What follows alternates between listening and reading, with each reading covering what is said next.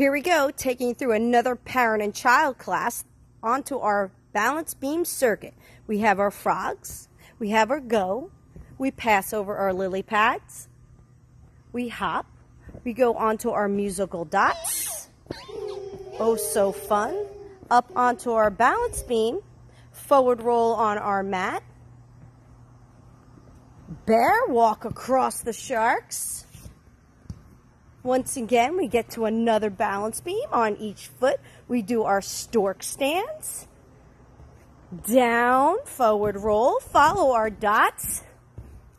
Climbing up to our high beams. Walk across our beams in a zigzag.